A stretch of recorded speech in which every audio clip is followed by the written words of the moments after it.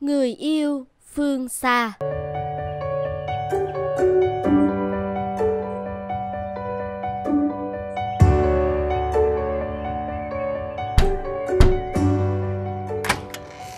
Win, sao, sao anh lại ở đây? Làm sao ra nông nổi này? Ờ, Erika à, ừm, xin lỗi em. Thành thật xin lỗi em. Hãy quay về với anh. Một năm trước,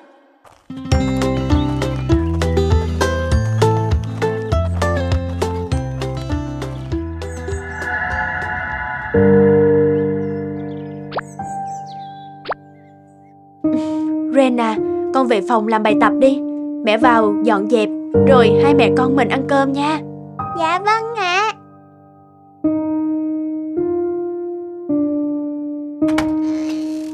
Ơ kìa, bà xã. Sao tối rồi, em còn không lo ngủ đi. Win à, tôi hỏi anh, có phải anh đã đem bộ ghế trong phòng khách và tivi đi đánh bạc rồi có đúng không? Ừ, không có. Cái này không gọi là đánh bạc được. Cái này gọi là đầu tư. Em yên tâm, sau này gỡ lại vốn lẫn lãi rồi, anh sẽ mua lại một cái khác xịn hơn cho em. Anh quên là tivi này chúng ta đã dành dụm cực khổ ra sao để có được nó hay sao hả? Nó còn là niềm vui của con chúng ta nữa mà. Anh bán nó đi rồi, con bé buồn lắm, anh có biết không? Ôi trời ơi, có cái tivi thôi mà sao cũng nói. Lúc trước là tôi mua nó, giờ thì tôi bán nó đi thôi. Anh có biết anh bán bao nhiêu là thứ trong nhà này rồi hay không hả? Bây giờ anh lại bảo là có cái tivi thôi à? Đàn bà quá thật lắm lời. Đem bán chút đồ cho chồng đầu tư, sao em cứ khó chịu vậy? Thế em ôm hết đống đồ vớ vẩn ấy, cái nhà này có giàu nổi không? Giờ tôi mới biết tại sao hôm nay đặt đâu thua đấy Là do cái mệnh đen đuổi từ bộ dạng cao có của cô đó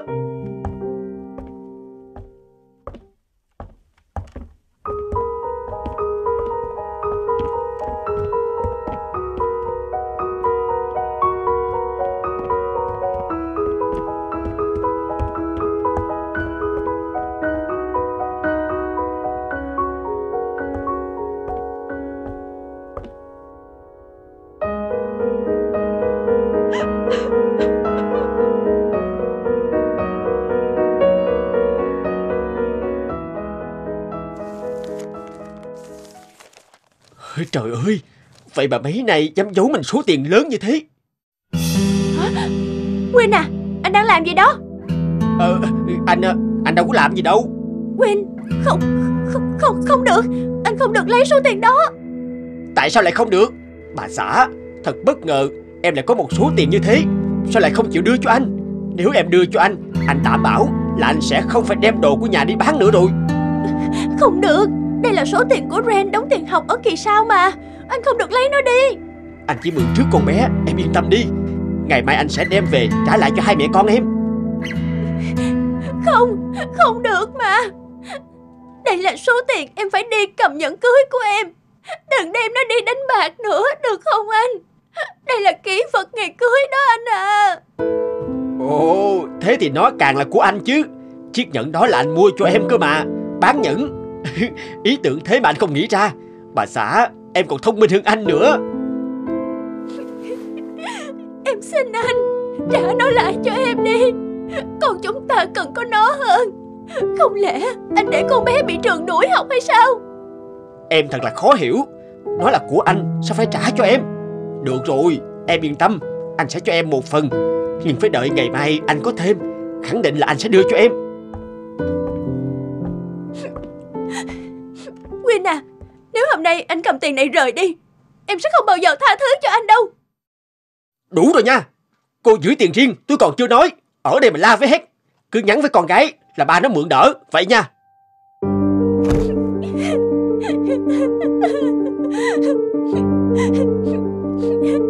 Sao anh nỡ đối xử với vợ con anh như thế này chứ? Ren này Sau này có thể mẹ không thể cùng con đi học Và về nhà được nữa Sau này con cùng với mẹ bạn Otis về chung nha Nhớ là phải nghe lời mẹ bạn ấy Không được chạy lung tung nghe chưa Tại sao mẹ không đi cùng con nữa? Bởi vì mẹ phải đi đến một nơi xa để đi làm. Mẹ đi làm sẽ có tiền mua đồ đẹp và đồ chơi cho Ren của mẹ nè. Con không cần đồ đẹp đâu. Mẹ ơi, mẹ đừng đi làm xa mà. Ren sẽ nhớ mẹ. Ngoan nào, Ren ngoan. Mẹ phải đi làm, nếu không Ren sẽ nhịn đói mất. Ren nhịn đói, mẹ sẽ đau lòng lắm. Vì vậy, con phải ngoan ngoãn ở lại học hành.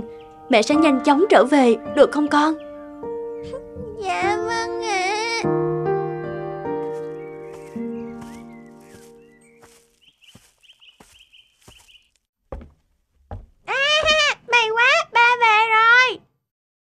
Ừ, ba về rồi. Ba ơi, con đói quá à. Ừ, sao lại đói bụng? Mẹ đâu? Mẹ không nấu cơm cho con ăn à? Mẹ không có ở nhà. Mẹ bảo mẹ phải đi làm xa rồi. Tạm thời không về được.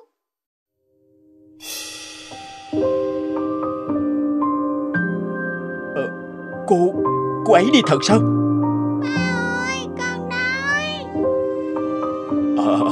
Ren ngoan, con đợi ba một lát. Ba sẽ nấu gì cho ba con mình ăn nha. Dạ vâng ạ.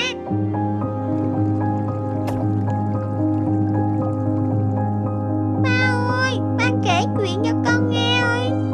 Sao lại kể chuyện nữa? Con lo mà ngủ đi. Nhưng mà mỗi tối mẹ hay kể chuyện cho con nghe mà. Như vậy con mới ngủ ngon được. Ờ, được rồi, được rồi. Bà kể, bà kể. Ngày xưa, ngày xưa, có một cô bé nhỏ được mẹ tặng cho một cái khăn. Từ hôm đó, quyên bắt đầu thay thế Erika. Anh phải làm những việc trước đây mà vợ anh từng làm để chăm sóc cho Ren và cho cả bản thân mình. Sau khi bắt tay vào làm việc, quyên nhận ra bản thân không còn nhiều tiền để lo cho cả hai cha con. Anh bắt đầu tìm kiếm công việc nghiêm chỉnh để làm.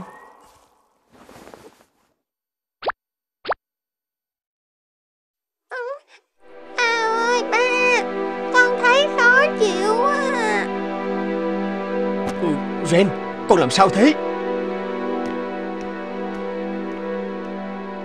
Ba, lần trước con cũng bị nóng. Mẹ cứ pha cho con ly nước chanh nữa. Giờ con còn khó chịu chỗ nào không con? Ba đem nước chanh lên nè.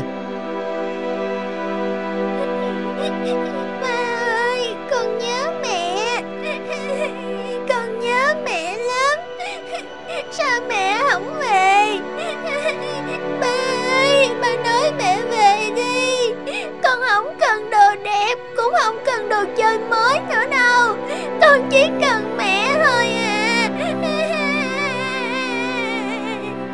Ờ, được rồi, được rồi. Ba xin lỗi con. Ngoan nào, con mau ngủ đi. Ba hứa với con, ba sẽ đem mẹ về được không? Thật không ba? Thật, nhưng Ren phải hứa là phải ngoan và nghỉ ngơi thật khỏe nha. Dạ vâng. Mấy ngày sau, đợi Ren khỏe bệnh hẳn, Win gửi Ren cho cô hàng xóm, còn anh quyết tâm đem vợ trở về. Để cho vợ thấy được quyết tâm thay đổi của mình, Quỳnh quyết định đi bộ 2.000 cây số để về lại quê hương của vợ ở vùng nông thôn với một suy nghĩ táo bạo được ấp ủ.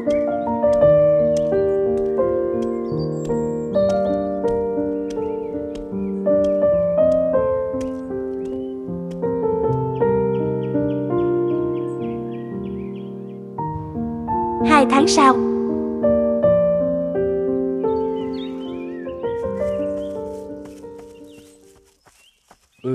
anh muốn cầu hôn em một lần nữa. Anh xin lỗi, đã gây ra tổn thương cho em. Sau khi em đi, anh nhận ra em quan trọng với cha con anh biết nhường nào. Về với cha con anh nha. Win à, tôi chấp nhận lời xin lỗi của anh. Và khi trông thấy bộ dạng này của anh, trong lòng tôi cũng đã nguôi ngoai. Nhưng tôi e tôi không thể quay trở về được nữa. Nhưng tại sao vậy em? Tôi nghĩ anh hiểu rõ tại sao tôi lại ra đi. Hiện tại tôi vẫn chưa sẵn sàng và cũng chưa đủ dũng cảm để bắt đầu lại cuộc sống tăm tối đó. Tôi xin lỗi. Ờ, Không sao, anh hiểu mà.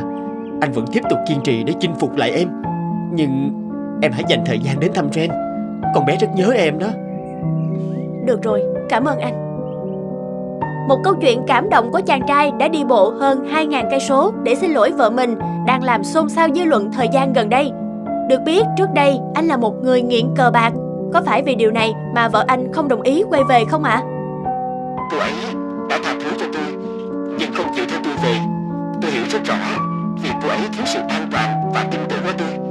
Nhưng không sao, Tôi vẫn sẽ tiếp tục đi bộ lại một lần nữa Để đưa cô ấy quay về. Bà xã, Anh và con đợi em về. Đợi anh Anh sẽ đến đón em.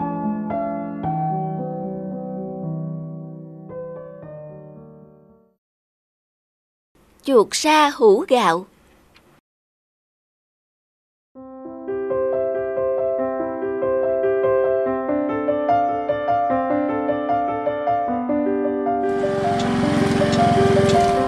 Sao hôm nay về muộn thế con? Ba, ba chưa ngủ sao? Ừ, ba đợi con Với lại đang đọc tới đoạn rất hay Nên không thể dừng được Ba còn chừa phần cơm cho con đó Vào nhà thay đồ rồi ăn cơm đi Dạ thôi, con ăn rồi. Hôm nay con vừa đi chia tay một cậu đồng nghiệp trong công ty để cậu ta chuẩn bị đi học nghiệp vụ nâng cao ở bên công ty mẹ bên Mỹ ba ạ. Ồ, vậy sao? Quả là một cơ hội tốt Tốt gì đâu ba. Cái suất ấy lẽ ra cấp trên dành cho con. Con từ chối không đi thì mới tới lượt cậu ấy đấy chứ. Sao con lại từ chối một cơ hội tốt để học hỏi như vậy? Với người khác thì có thể là tốt, nhưng với con thì cũng không phải là tốt nhất bà.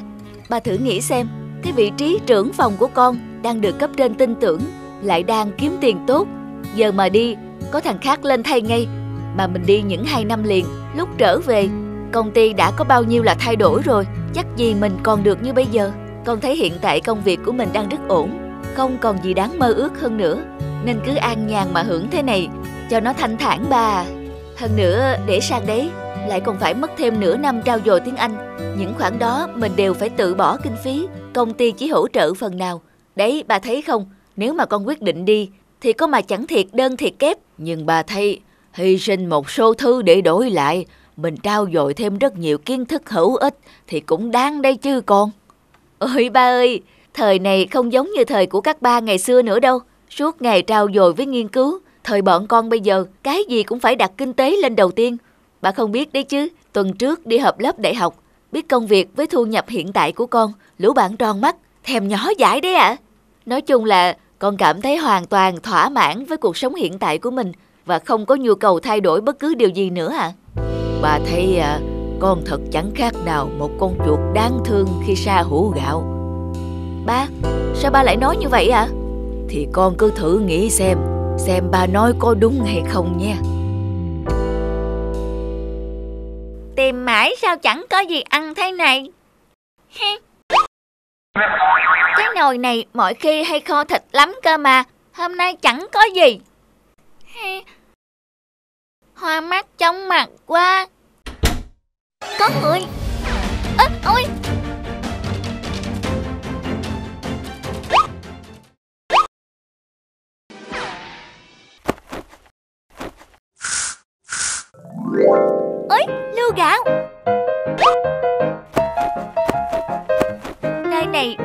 gạo Lại vừa quá an toàn, Quá là thiên đường rồi. Ngon quá, Thế này mới là sống chứ.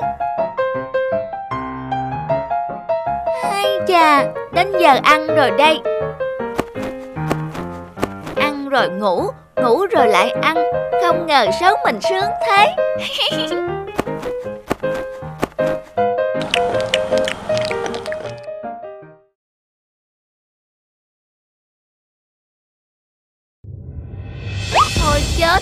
gạo rồi. Sao nhanh thế nhỉ? Đói quá. Phải ra khỏi đây Đi tìm lưu gạo khác thôi. Ôi trơn quá. Ê, làm sao thoát được khỏi đây bây giờ? Cứu tôi với!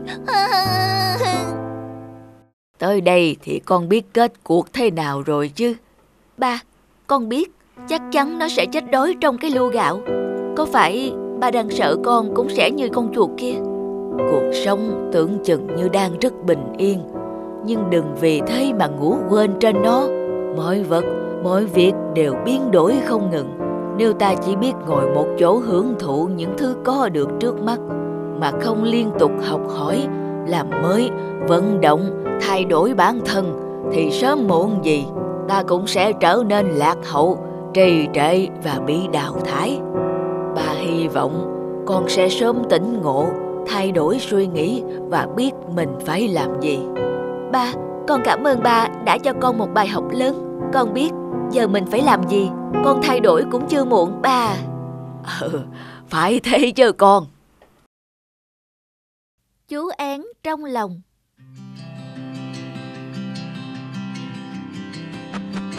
Chào bạn Án lục À, bạn Án xám đấy hả? Hôm nay có gì vui không? Lại kể chuyện cho tớ nghe nào Hôm nay á, hôm nay là một ngày thật tuyệt vời Tớ thức dậy khi bình minh bắt đầu ló dạng Sau đó, tớ cùng bày án thi nhau bắt sâu trên vườn táo của bác ba hàng xóm này Ờ, thế là được một bữa no nê rồi nhỉ? Đúng vậy, sau đó chúng tớ còn bay lượn vài vòng trên bầu trời, hót liếu lo để thể dục nữa chứ. Cảm giác hít thở không khí trong lành và bay lượn thật là tuyệt vời. Ừ, cảm giác được bay lượn thật tuyệt biết bao nhiêu. Lâu lắm rồi tớ chẳng biết đến cảm giác bay lượn là gì cả. Ừ, từ ngày cậu chủ nhà này đem cậu về nuôi, thấy cậu ở trong lòng suốt. Loài chim chúng ta sinh ra là để bay lượn, vậy mà bị bó buộc trong lòng thì thật đau khổ biết nhường nào. Ước chi khi mùa đông tới, cậu được tham gia cuộc hành trình bay vào miền Nam tránh rét thì tốt biết mấy. Ừ, ước chi tới được bay vào miền Nam cùng các cậu. Mà cũng may là còn có cậu mỗi ngày đến đây kể cho tớ nghe về cuộc sống màu sắc bên ngoài kia, không chắc tớ buồn lắm.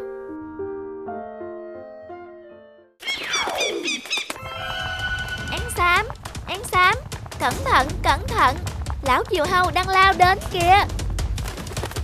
Ừ, lại hụt nữa rồi, thật đáng ghét. Ừ. Con én láo toét, nhớ đây, có ngày ta sẽ sơi tái mì. May mà có cái lòng chắc chắn này, nếu không hôm nay mình đã là bữa mồi ngon cho lão rồi. Én xám ơi, én xám, cậu ổn chứ, có làm sao không? May quá, tớ không sao, chỉ bị thương ở cánh một chút vì đập vào cành cây thôi à. Cậu nhanh nhẹn thế mới chạy được, chứ tớ chậm hơn cậu. Vừa rồi mà không có chiếc lòng, chắc tớ đã trở thành miếng mồi ngon cho lão diều hâu rồi, nguy hiểm quá. Ôi, mưa bão rồi, ôi, lạnh quá.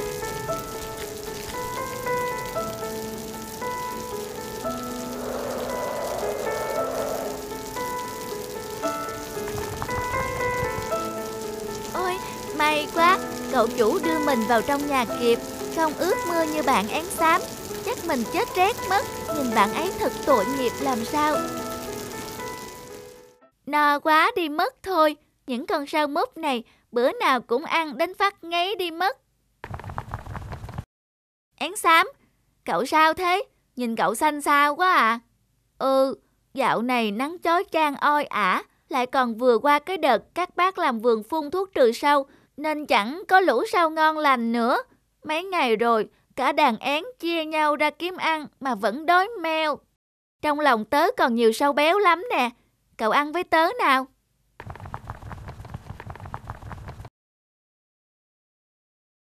Tuấn ơi, con đang làm gì vậy? Nhanh vào thay đồ để đi sang nhà bà ngoại chơi nào. Vâng, con vào ngay đây. Ôi, sao tự dưng tim mình đập nhanh thế cơ chứ? Cậu chủ quên khóa cửa. Hay là, hay là mình bay ra ngoài? Trời ơi, cơ hội tốt hiếm có đây mà. Án lục ơi, cửa lòng của cậu mở kìa. Cậu nhanh ra khỏi đó đi. Chúng tớ chuẩn bị di cư vào miền Nam tránh rét rồi đây. Nhưng, nhưng quãng đường di cư đến miền Nam có xa xôi vất vả không? Có chứ, tất nhiên là vô cùng vất vả. Chúng ta phải băng qua những cánh đồng mênh mông, những khu rừng rậm rạp và băng qua cả những ngày mưa nắng. Nhưng mà vượt qua được, tất cả chúng ta sẽ đến được miền Nam ấm áp. Nguy hiểm và mưa gió ư?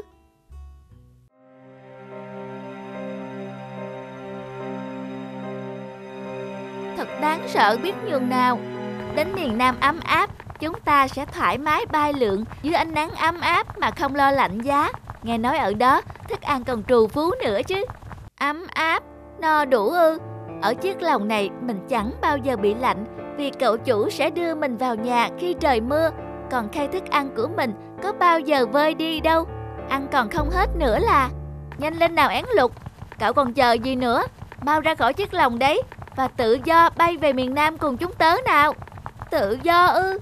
Đúng thế, chúng ta sẽ có được tự do. Không điều gì tuyệt vời hơn tự do cả. Tự do là cái gì cơ chứ? Tự do mà đầy rẫy những khó khăn nguy hiểm, lạnh giá, rồi đói khát. Tôi thấy tự do đâu có tuyệt như cậu nói. À, sao cậu lại nói vậy? Cậu có thể thoải mái bay lượn trên bầu trời mà. Thì ở đây tớ không được bay lượn thôi. Chứ tớ chẳng sợ phải rét buốt hay đói khổ gì cả. Tớ sẽ ở lại đây và không chơi với cậu đâu. Trời, cậu có biết mùa đông miền Bắc lạnh giá như thế nào không? Cậu sẽ không chịu được đâu. Không, cậu chủ của tớ sẽ không bao giờ để tớ phải lạnh giá cả. Cậu đi đi.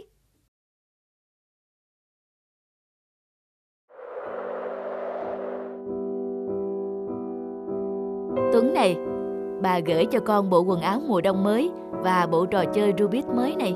Bà bảo đây là quà thưởng cho con vì đã học tập thật giỏi đó. À ha, nhiều đồ chơi quá đi mất. Cậu chủ có nhiều niềm vui mới nên quên mình thật rồi sao?